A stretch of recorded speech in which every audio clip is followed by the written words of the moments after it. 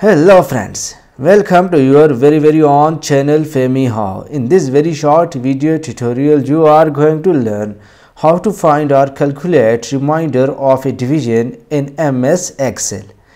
You can see some values on your screen. Now I am going to find the remainder of this division.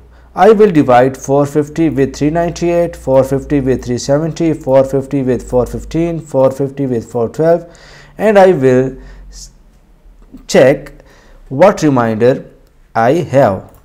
So simply select the cell and then write here is equal to mod mod and then start the bracket and then here either you can write a number or simply select the cell which you want to divide with some number insert comma and write here a number or simply select the cell with which you want to divide.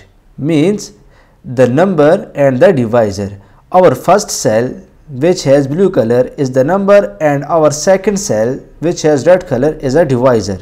Simply close the bracket and press enter.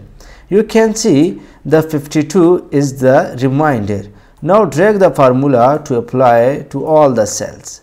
You can see now in each division there is some reminder. For example, here 107 is the reminder. So friends, that's the very easy and simple way to calculate or find the reminder in MS Excel. If my video helps you in any way, please subscribe my channel and hit the like button. Thanks for watching. Thanks for your time. Take care. Goodbye.